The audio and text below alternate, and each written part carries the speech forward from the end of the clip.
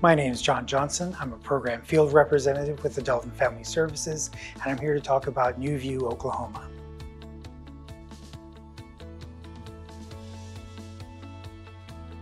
New View, Oklahoma is a partner with Oklahoma Human Services that we can use as a resource for our clients.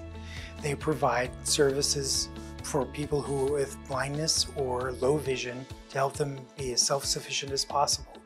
They help with learning and to read and write Braille, to help them learn to move around their homes, their neighborhoods, or their work, learn how to use technology that can help them become acquainted with it, learn if it's something that would be good for them before they buy it, and then it also provides employment opportunities.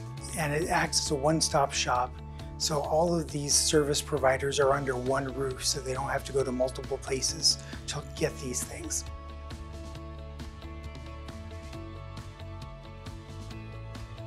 The eligibility requirements for New View, Oklahoma is that a person have blindness or low vision. If a person meets this criteria, New View, Oklahoma will do an assessment to see what they can provide for that person.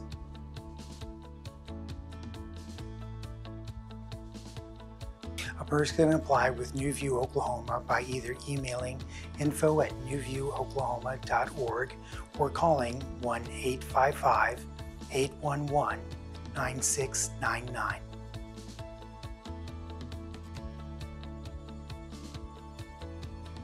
A person can learn more about New View Oklahoma by either going to their website nvoklahoma.org or calling 1 855 811 9699.